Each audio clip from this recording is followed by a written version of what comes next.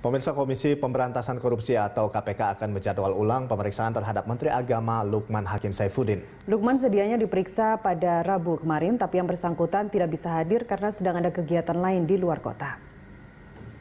Menteri Agama Lukman akan diperiksa terkait kasus dugaan adanya suap pengisian jabatan di Kementerian Agama RI yang menjerat mantan Ketua Umum Partai P3 Roma Hurmuzi.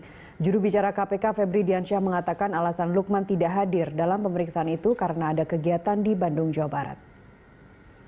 Febri mengatakan selain Lukman, pemeriksaan juga dilakukan kepada staf ahli Menteri Agama Gugus Joko Waskito. Tapi yang bersangkutan tidak hadir dan KPK belum mendapat informasi terkait alasan ketidakhadirannya.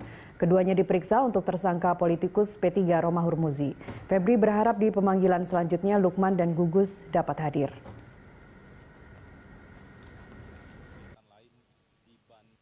Lukman Hakim Saifuddin, Menteri Agama Republik Indonesia. Jadi tadi Eh, pagi ada staf eh, dari Menteri Agama yang menyerahkan surat ke KPK.